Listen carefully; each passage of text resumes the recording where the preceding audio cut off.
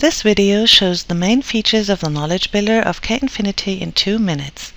Based on an example with organizations and employees, we will show how to set up objects and relations. First of all, we need to create the type organization.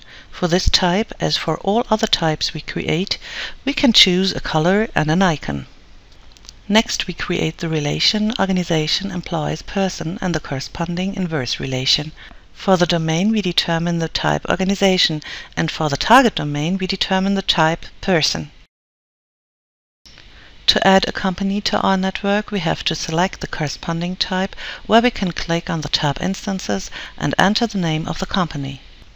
The graph editor enables us to add relations and objects with drag and drop.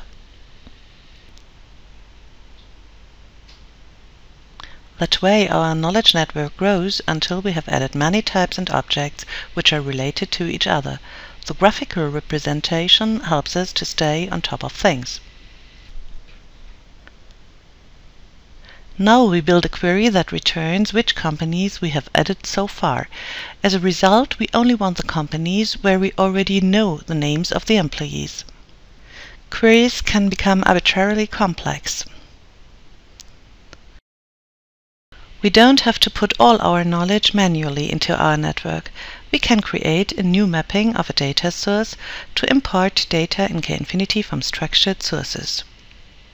Also, we can export objects and their attributes in a structured form. Here, the import process is shown based on a CSV table.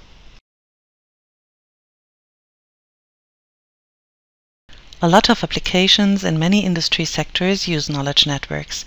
They match potential business partners, they find the product you are looking for, or recommend the right movie for your next movie evening. The front end can be customized after your individual wishes. And always keep in mind, love your data, link your data.